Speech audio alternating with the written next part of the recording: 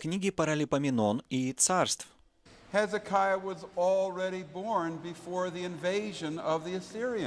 Езекия был рожден еще до вторжения ассирийцев, So it does not fit the chronology. поэтому это не соответствует хронологии. So who is the child? Итак, кто же этот ребенок? A virgin will conceive, we read, Мы читаем «Дева во чреве примет», and you shall call his name Emmanuel. и нарекут имя ему Эммануил. Emmanuel is the Hebrew for God with us. На иврите слово «Эммануил» означает «Бог с нами». That's a very interesting name. Это очень интересное имя. He says, God with us, Он говорит «Бог с нами», even though Isaiah prophesies that eventually Assyria will bring great havoc to the southern kingdom. Хотя Исаия пророчествует, что в конечном счете Ассирия опустошит Южное царство.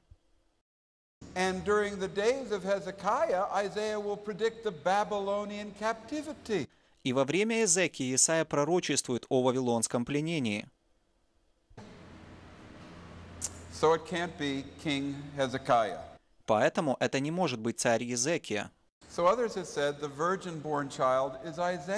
Другие говорят, что этот ребенок, рожденный от девы, это сын Исаи. And indeed, in Isaiah chapter 8, we read about the birth of Isaiah's son. И действительно, в 8 главе Исаия мы читаем о рождении сына Исаи.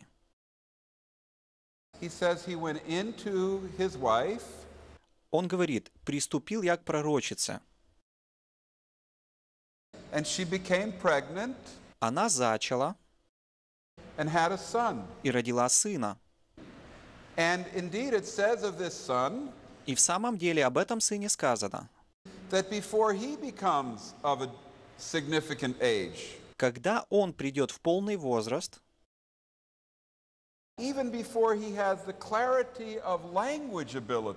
прежде нежели ребенок будет уметь говорить. Северный Союз будет поражен. Поэтому точно о сыне Исаи говорится как о знамении. But there is a problem. Но возникает еще одна проблема. Isaiah's son's name is Meher Shalahashbaz. Имя сына Исаи Мегер Шелал Хашбаз.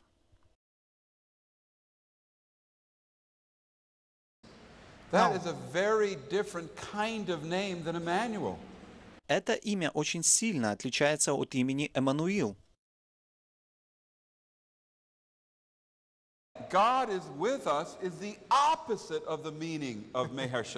Бог с нами – противоположность имени Мегер Шелал Хашбаз. Мегер Шелал Хашбаз означает either hasten, hasten to the spoil, «спешит, спешит грабеж» or easy prey. или «легкая добыча». In other words, the nation will be given up to the conqueror Иными словами, народ будет завоеван, and the nation will be despoiled и народ будет разграблен, and the prey will be taken easily. и добычу легко возьмут. I will explain. Я объясню вам. Мегер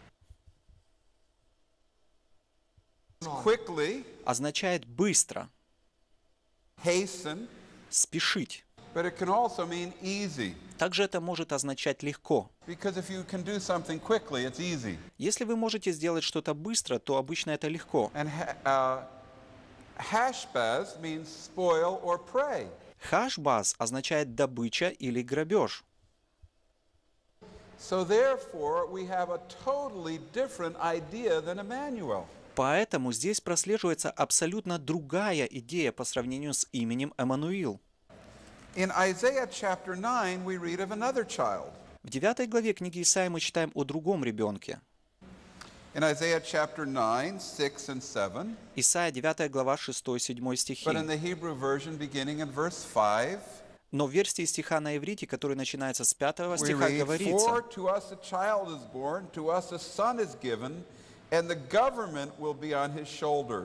Ибо младенец родился нам, сын дан нам, владычество на раменах его.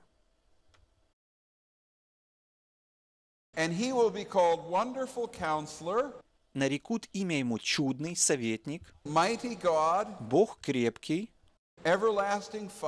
Отец вечности. Князь мира.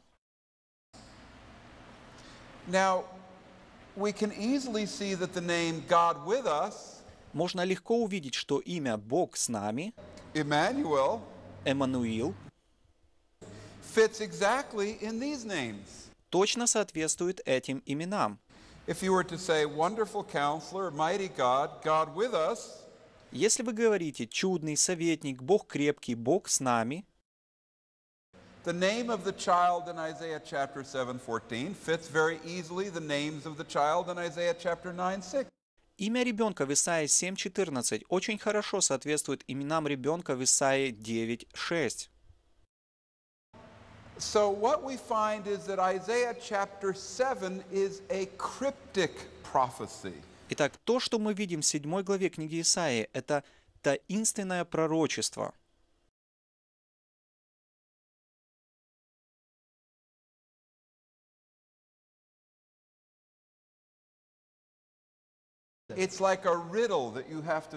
Оно подобно загадке, которую еще необходимо разгадать. But then Isaiah chapter 8 and chapter 9 show that there are two children involved. И затем 8 и 9 главы Исаии показывают, что вообще-то говорится о двух детях. One child is indeed the son of Isaiah, На самом деле, первый ребенок – это ребенок Исаии. and that is the immediate sign to Ahaz.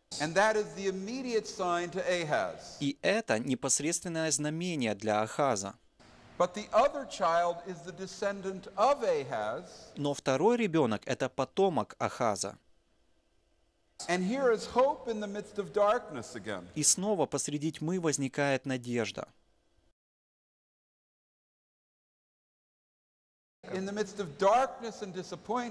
Надежда среди тьмы и разочарования. Even though Ahaz is vacillating, Даже если Ахаз находится в вассальной зависимости, even though he is weak, даже если он слаб, even though he does not put his trust in God, даже если он не доверяет Богу, hope of the seed promise will not be destroyed. надежда семени обетования не будет уничтожена.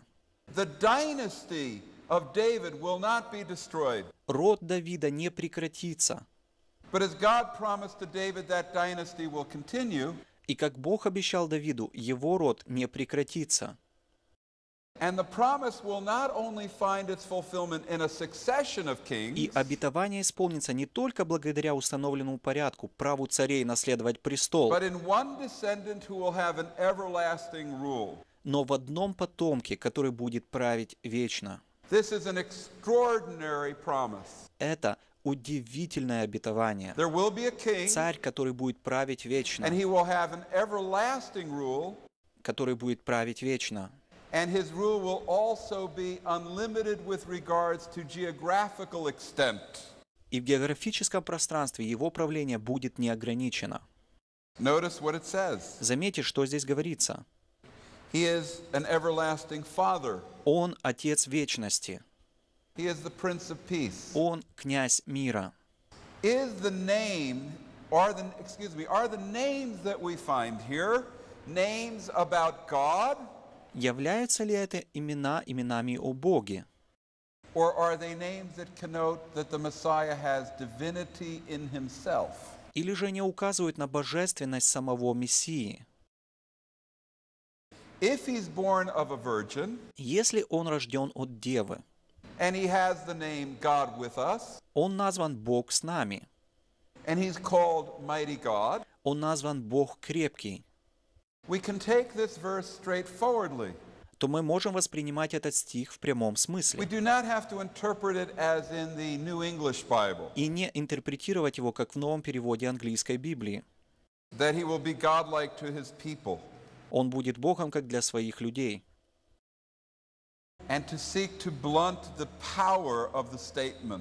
И стремится уменьшить силу этого утверждения.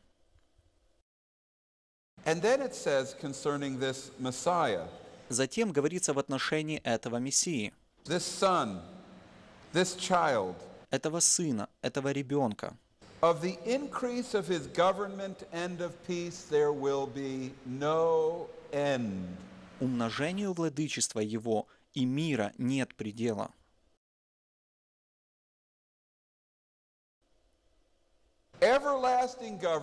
Вечное правление, вечная продолжительность. И бесконечная географическая протяженность. Вот что в сущности приносит Мессия.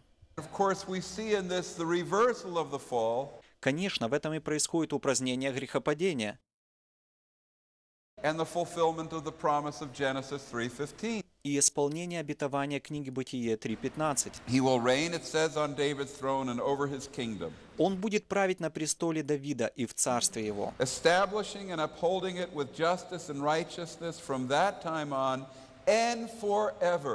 чтобы ему утвердить его и укрепить его судом и правдою отныне и до века. So,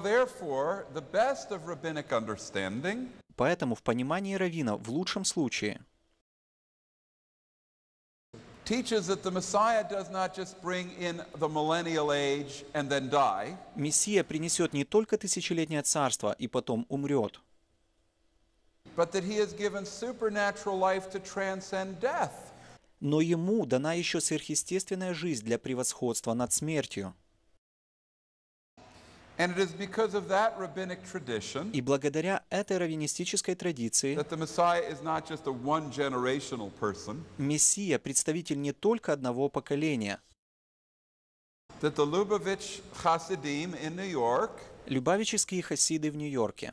are waiting for the resurrection of Menachem Schneerson. Ожидают воскресения монахима Шнейрсона,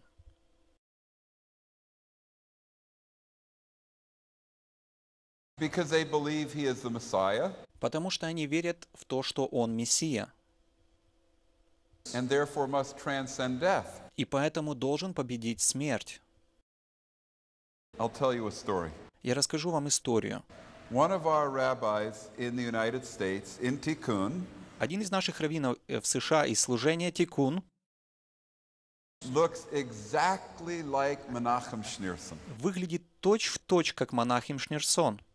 The same beard, У него такая же the борода, same nose, такой же the нос, same hair. такие же волосы. And we had an idea И у нас возникла идея, that he should travel to Brooklyn, New York, что он должен поехать в Бруклин, Нью-Йорк, прокрасться к гробу монахима Шнейрсона, where the Hasidim are waiting for the resurrection. где хасиды ожидают его воскресения. And then in the morning, jump up И затем утром выпрыгнуть and say, I'm back. и сказать «Я вернулся», А потом сказать «Иешуа – Мессия».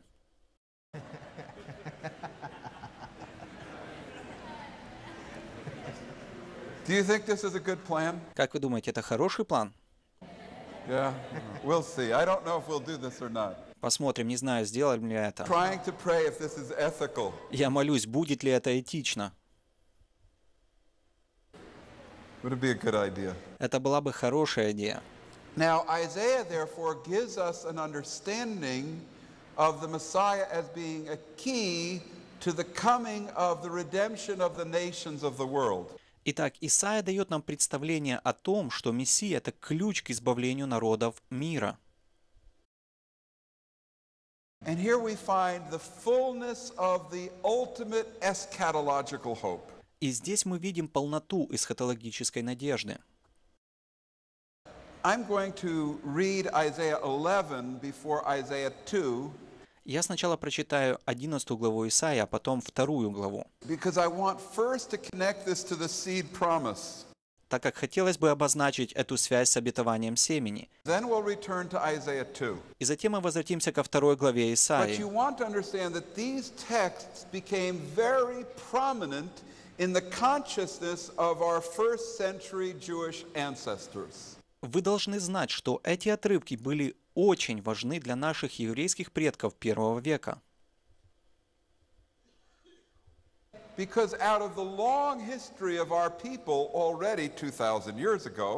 Потому что на протяжении всей длинной истории нашего периода уже 2000 лет they were looking for that everlasting kingdom that was promised in Isaiah 9.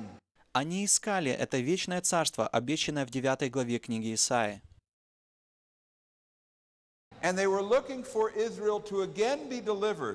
Они снова ожидали освобождения Израиля.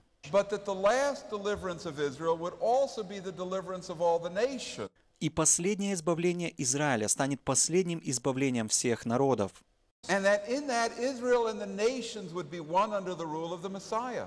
Израиль среди народов станет одним под правлением Мессии.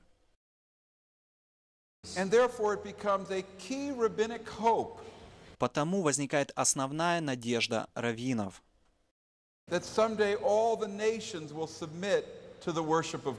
что в один день все народы будут поклоняться Богу.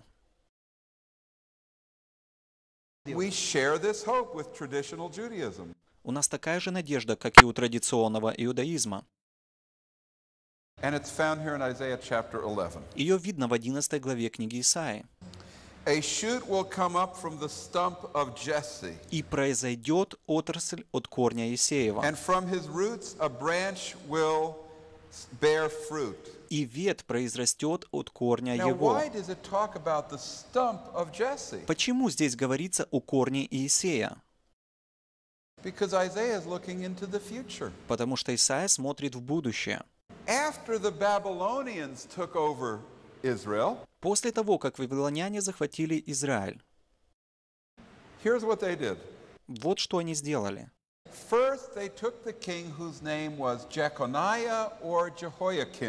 Они взяли царя Иехонию и увели вавилонский плен.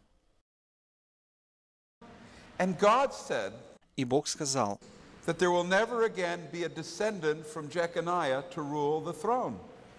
Что больше не будет потомка Иехонии, правящего на троне. Это проблема, так как он законно принадлежит к родословной царской линии Давида.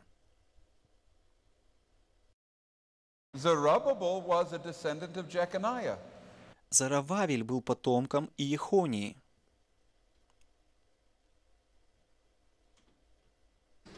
In 516, when the Jewish people came back to the land of Israel, В 516 году до нашей эры, когда евреи возвратились в Израиль, Zerubbabel was the governor under the Persian king. Зарававель был правителем под началом персидского царя. But he did not rule on the throne of David as king. Он не был на троне по линии царя Давида. No one else ever did. Ни кто-то еще после него.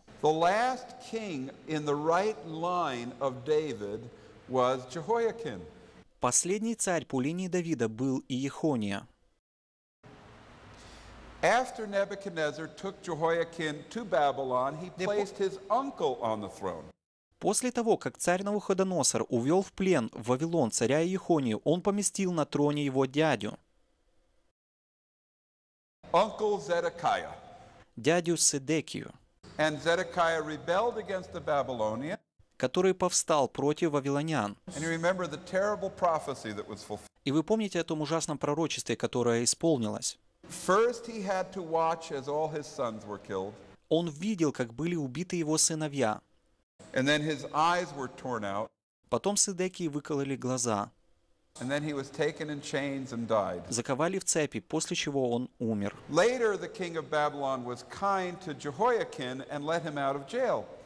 Потом царь Вавилона был добр к Иехоне и освободил его из тюрьмы.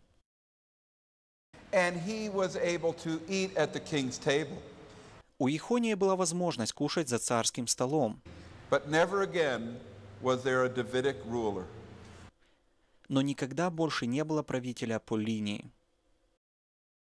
There were kings. Были цари, The Maccabees, after their revolt against the Syrian Greeks in 165 BC, Маковеи после их повстания против греко-римлян в 165 году до нашей эры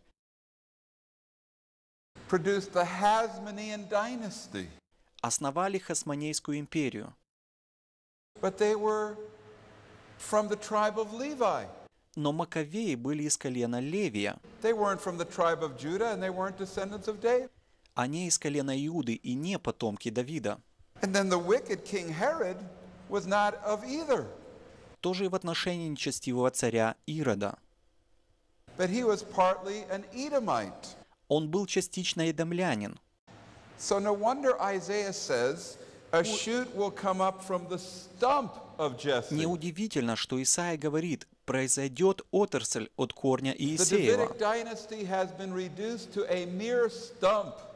Род Давида стал не более, чем обычный корень.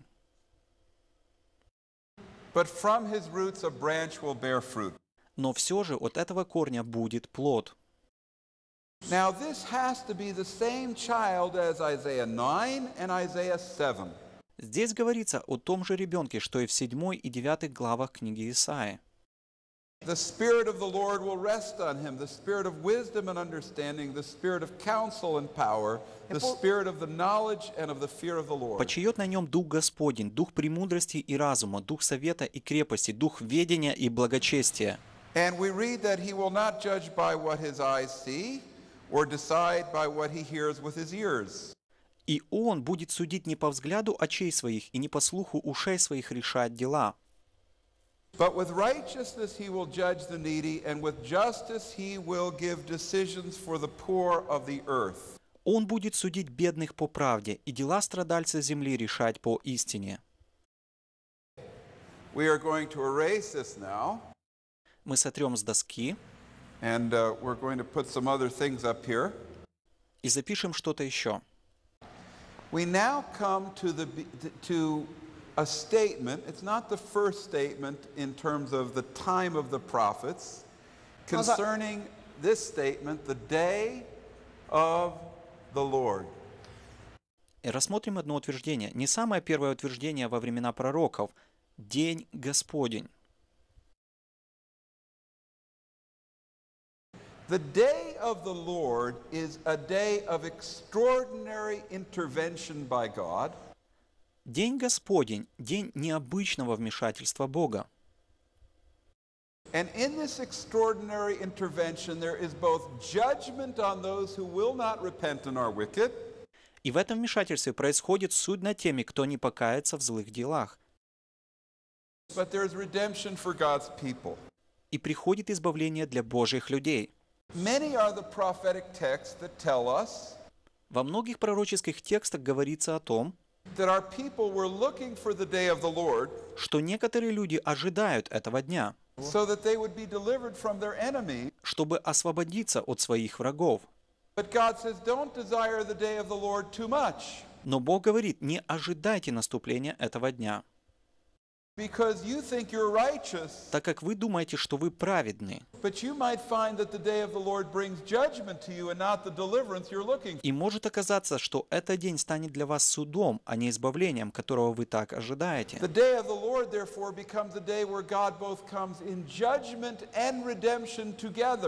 Поэтому Бог придет в этот день одновременно судить и избавлять.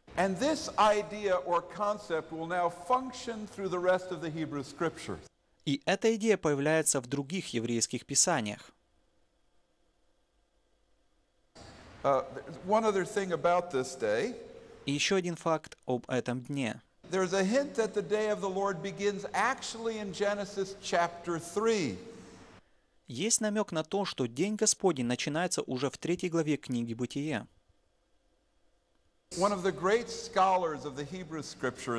States Один из великих ученых еврейских писаний в Соединенных Штатах, которого зовут Мередит Клайн, And he says that there are many days of the Lord uh, throughout history. Говорит, что было множество дней Господних на протяжении истории.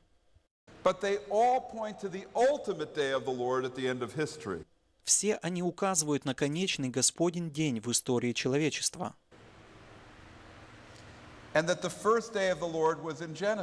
И что первый день упоминается в книге Бытие. And he argues from the Hebrew that we have completely mistranslated it. Он доказывает, что мы совершили громадную ошибку в переводе с иврита. Я не совсем уверен об этом. but he argues that the first day of the Lord was Genesis chapter 3. Но он доказывает, что первый день Господень написан в третьей главе книги Бытия. И он говорит, что вместо фразы «Бога, ходящего в раю во время прохлады дня», that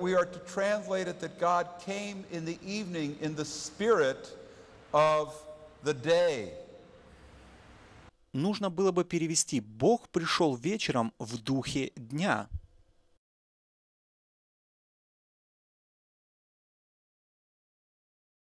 In other words, the picture is not God taking a walk through the garden as an old man with his cane. Другими словами, Бог изображен в виде пожилого человека со своей тростью, потому что Бог очень старый к этому времени. Поэтому он совершает небольшую прогулку по саду. Интересно, как поживают Адам и Ева? Нужно пойти проведать их. Нет? Картина следующая. Бог сразу же врывается туда. And the power in the rushing wind coming into that garden. И сила несущегося ветра входит в сад. And the fear because of God's presence in the midst of sin. И приходит страх из-за того, что Бог увидел грех. And then judgment falls, И затем следует суд but a promise of redemption. и обетование об искуплении. Now,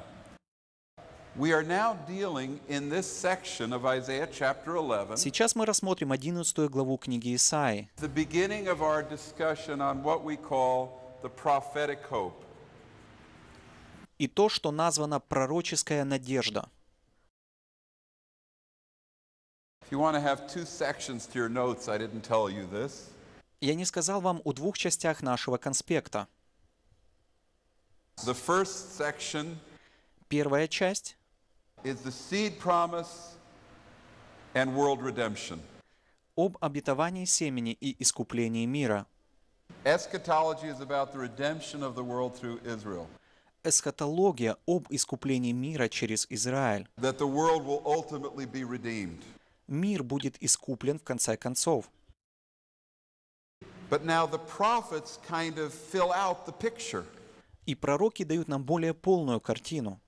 Now remember, this is a very dark period that Isaiah is writing. Помните, что во время Исаия это был очень темный период истории. Кажется, что Израиль и его земля подходят к своему концу.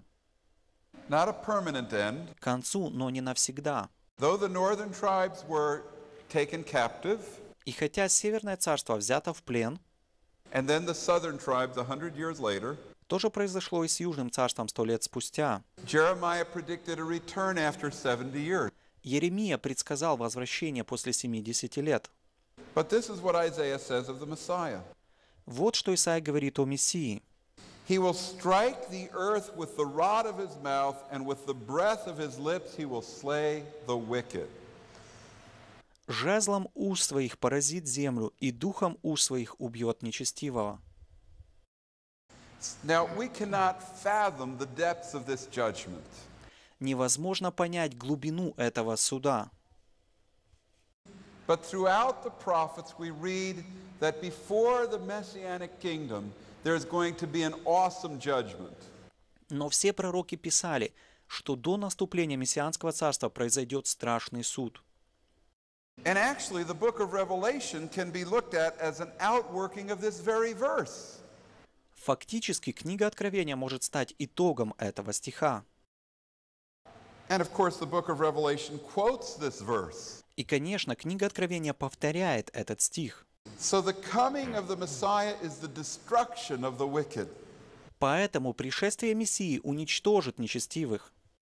Righteousness will be his belt, and faithfulness the sash around his waist. И будет припоясанием чресел его правда, и припоясанием бедер его истина. And then we read, The wolf will live with the lamb, Тогда волк будет жить вместе с ягненком, The leopard will lie down with the goat, and the calf and the lion and the yearling together.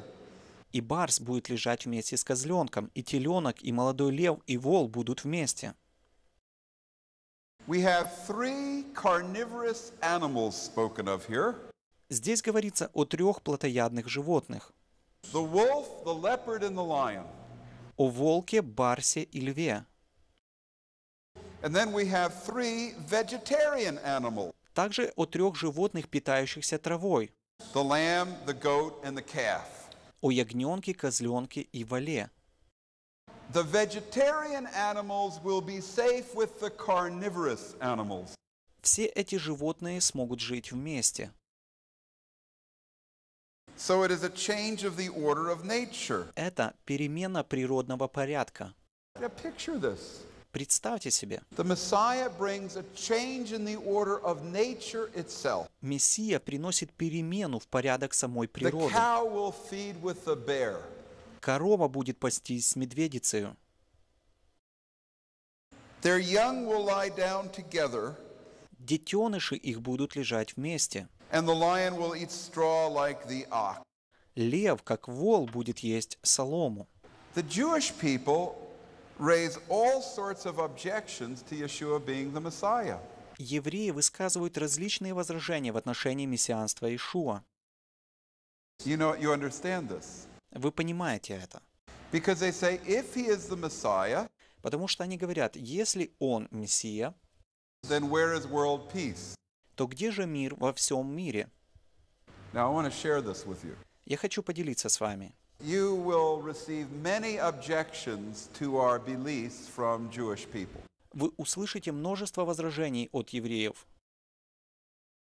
Objections to the triune nature of God. Возражения в отношении триединой природы Бога.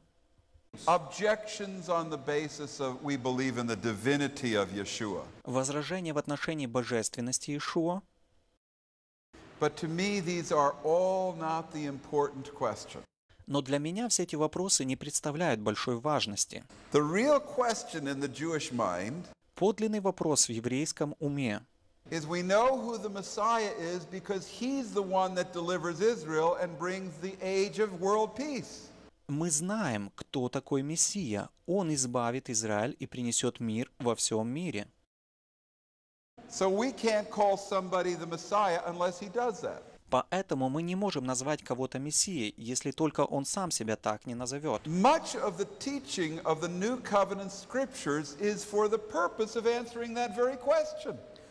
Цель большинства учений Нового Завета – ответить на этот вопрос. How can we claim that he's the Messiah though we do not have the world peace situation? Как мы можем говорить, что он Мессия, когда нет мира? How can we claim he's the Messiah if Israel and the nations are not one under his rule? Как мы можем говорить, что он Мессия, когда Израиль рассеян среди народов и не находится под правлением Мессии? We might think that a person's the Messiah, Евреи говорят, мы можем думать, что кто-то является and Мессией, we might follow him in a world war, и, может, даже последуем за ним в мировой войне.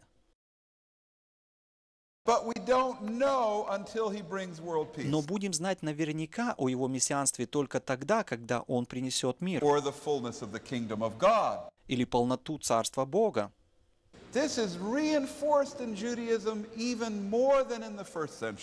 Эта идея усилилась в иудаизме еще больше со времен первого века нашей эры.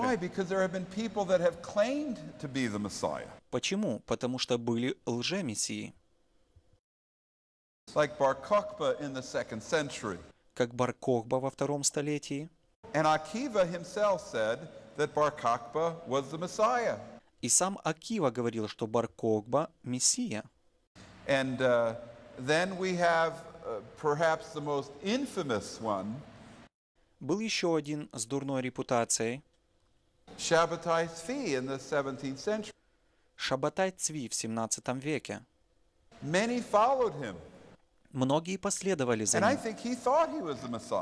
Наверное, он сам думал, что он Мессия. Он обращал мусульман и доказывал им свое мессианство.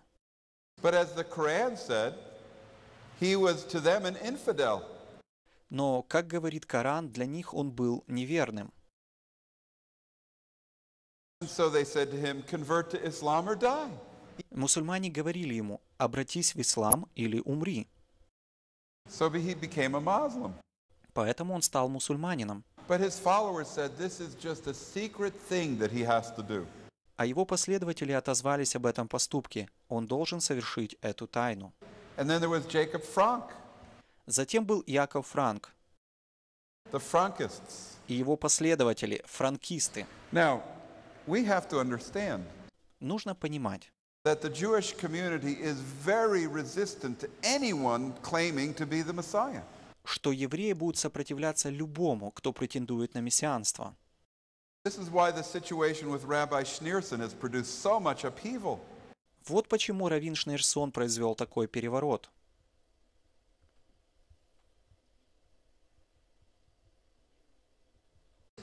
Now, here we read about the change in nature. В этом отрывке мы читаем о перемене в природе.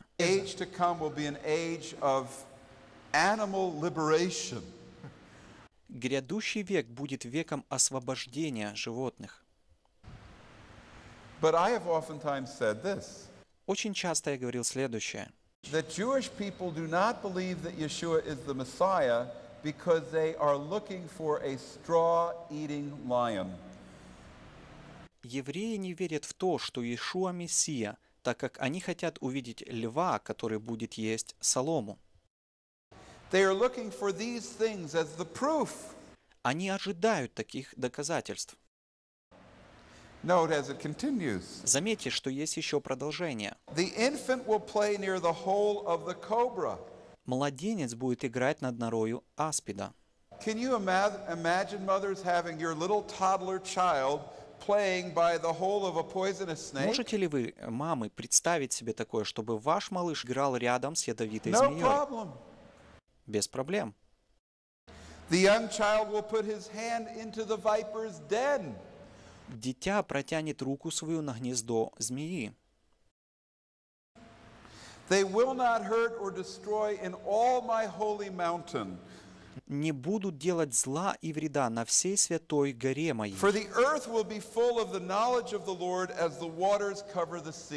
Ибо земля будет наполнена ведением Господа, как воды наполняют море. И будет в тот день корню Исееву, который станет как знамя для народов. Обратятся язычники, и покой его будет слава. In that day, the Lord will reach out his hand a second time to reclaim the remnant that is left of his И people. будет в тот день Господь снова прострет руку свою, чтобы возвратить себе остаток народа своего. And then it describes the nations. И потом он говорит об этих народах. He will raise a banner for the nations and gather the exiles of Israel. «И подымет знамя язычникам, и соберет изгнанников Израиля». He will assemble the scattered people of Judah from the four corners of the earth. «И рассеянных иудеев созовет от четырех концов земли». So, what are we reading about here? Что же мы здесь видим? We're reading about the circumstances of the Messiah affecting this. Мы видим события, которым приведет Мессия. К этим событиям также относится возвращение народа в землю израильскую. И если вы принимаете во внимание все пророческие книги, которые мы рассмотрим, то это возвращение в землю израильскую происходит до пришествия Мессии. И знаменательное возвращение также после прихода Мессии. Важно то, After the Messiah destroys the wicked with the sword that comes from his mouth, что после того, как Мессия уничтожит нечестивых мечом, выходящим из его уст, God, тех, которые оказали прямое сопротивление Божьим людям, the nations that are left are never destroyed. Оставшиеся народы никогда не будут истреблены. Как мы увидим. Надежда пророков в том, что народы придут к познанию Бога.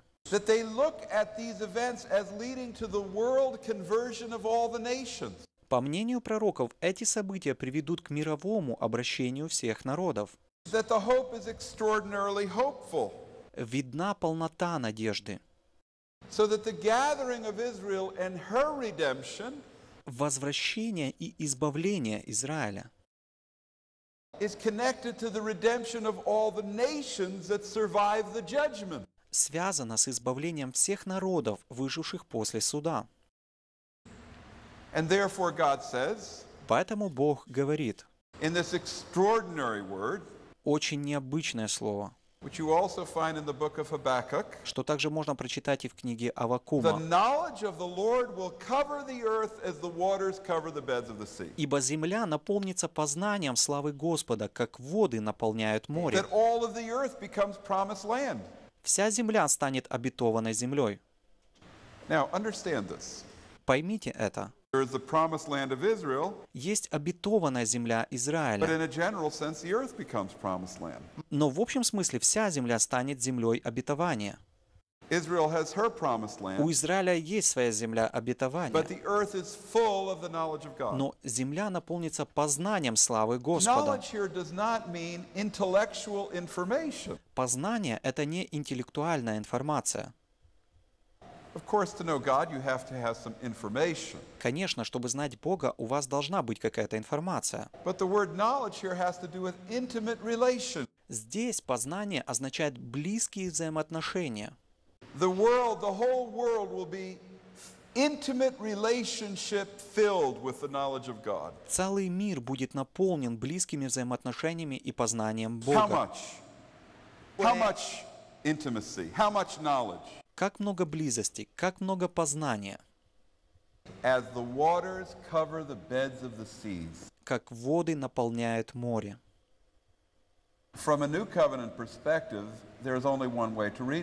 С точки зрения Нового Завета этот текст можно прочитать следующим образом.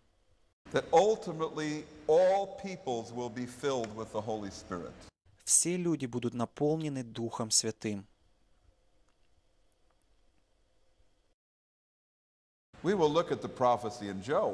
Мы рассмотрим пророчество Иоиля. He says, I will pour out my spirit on Israel, «Я изолью от Духа Моего на Израиль, on all flesh. на всякую плоть». That Israel affects the salvation of the world. Израиль влияет на спасение мира. Now, of course, we find in the New Covenant that Israel doesn't affect this without the body of believers. Конечно, из Нового Завета мы знаем, что вне тела верующих это невозможно.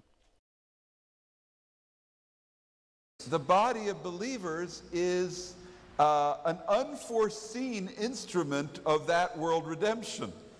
Тело верующих – невидимое орудие для избавления всего мира.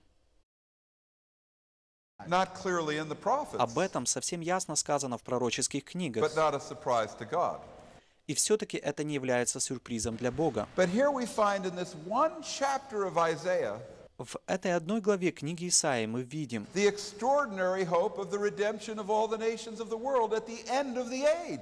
удивительная надежда избавления народов мира в конце времен. Why is this so important? Почему это важно? Because there is a theology in the evangelical world Так как в евангельском мире существует теологическая теория called dispensationalism под названием диспенсациализм, that teaches that the church will be raptured out of here seven years before the return of the Lord, которая говорит, что церковь будет взята от земли за семь лет до возвращения Господа. that the nations will be judged, Народы будут судимы, and that only very few will be saved. и только немногие спасутся. And in addition to that, Кроме того, those that enter the millennium will be ruled by force в тысячелетнем царстве будут принудительное правление над теми, кто выжил. И когда мы в действительности придем к познанию Господа, закон будет отменен в конце тысячелетнего царства. Is this what we as Jewish people have gone through for 4,000 years? Для этого ли мы, евреи, прошли все эти четыре тысячи лет? Чтобы увидеть несколько спасенных людей? И чтобы увидеть уничтоженные народы? Или мы достигнем цели? Должны ли мы быть орудием искупления мира? Надежда в Библии – народы придут к познанию Бога. Not just the saved remnants from the nations, today constituting the church, Не для спасения остатка, как в наше время утверждает Церковь, but the nations in general. но спасение всех народов в целом. They will rally to him, Они вновь соберутся около Него.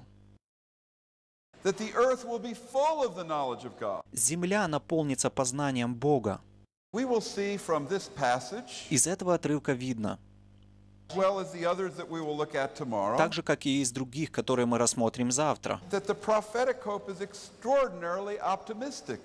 что пророческая надежда необычайно оптимистична. In Isaiah chapter 2, and we'll finish on this, И во второй главе книги Исаии, и на этом мы завершим, we don't read that the Messiah is the instrument of this happening, не написано, что Мессия является причиной всех этих событий. but we make that clear in Isaiah 9 and 11. Но ясно из 9 и 11 глав Исаии, It's speaking about the same events, где говорится о тех же событиях, but it does not uh, speak of the Messiah directly here. и не говорится о Мессии прямо. In the last days, the mountain of the Lord's temple will be established as chief among the mountains. «И будет в последние дни гора Дома Господня будет поставлена во главу гор, и возвысится над холмами, и потекут к ней все народы». Потекут к ней все народы. Many peoples will come and say, Come, let us go up to the mountain of the Lord, to the house of the God of Jacob. И пойдут многие народы и скажут, «Придите и взойдем на гору Господню, в дом Бога Иаковлева, и научит Он нас своим путям, и будем ходить по стезям Его».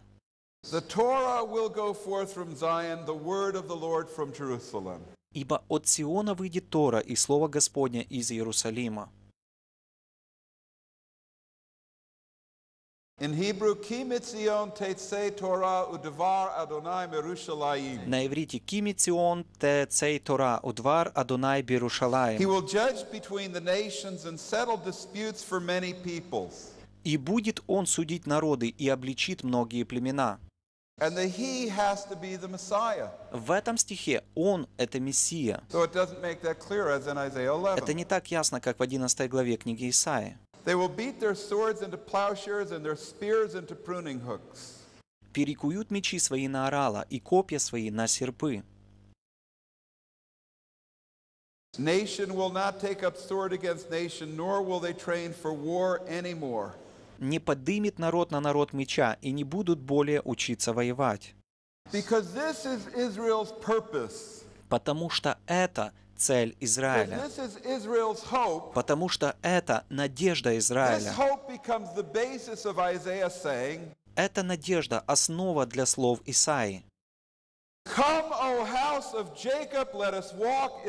Lord. «О, дом Иакова, придите и будем ходить в свете Господнем».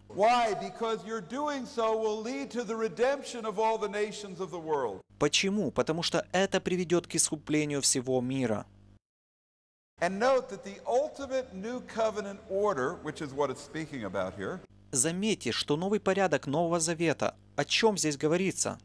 is not an order where the law is destroyed, Не тот порядок, при котором будет разрушен закон, but where God's order or law is established throughout the world. но Божий порядок или закон будет установлен во всем мире.